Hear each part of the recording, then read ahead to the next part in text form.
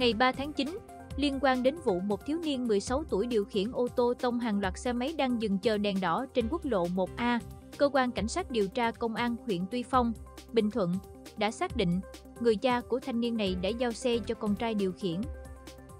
Theo đó, ông N, C, T, 41 tuổi, ngụ huyện Vĩnh Cửu, tỉnh Đồng Nai, điều khiển xe ô tô biển kiểm soát 60A668.00 chở theo người con trai 16 tuổi và một người khác đi du lịch. Khi xe đến địa phận huyện Tuy Phong, tỉnh Bình Thuận, ông T đã giao xe cho con trai điều khiển. Liên quan đến vụ việc, do người con trai chưa đủ tuổi để có giấy phép lái xe, cơ quan cảnh sát điều tra công an huyện Tuy Phong đang trưng cầu giám định thương tật của các nạn nhân để có căn cứ xử lý về hành vi của người cha đã giao cho người không đủ điều kiện điều khiển phương tiện tham gia giao thông.